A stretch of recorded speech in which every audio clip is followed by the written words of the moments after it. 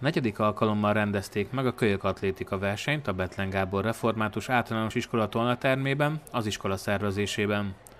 A verseny célja a közös sportélmény megteremtése, a versengés élményének öröme volt, ezt erősítendő, vegyes, több iskola tanulóival álló csapatok kerültek összeállításra. Éppen ezért hivatalos eredményhirdetése nem került sor, minden tanuló oklevelet kapott. A versenyen résztvevő vendégiskolák a következők voltak. Hunyadi Mátyás magyar-angol két tanítási nyelvű általános iskola, Baptista Szeretett Szolgálat EJS Kölcsei Ferenc általános iskolája, Pánti Endre katolikus általános iskola, Kaszap Nagy István református általános iskola két poétag intézménye. A gyermekek nagyon ügyesek voltak, és a verseny elérte célját, jó hangulatban sportoltak a gyermekek.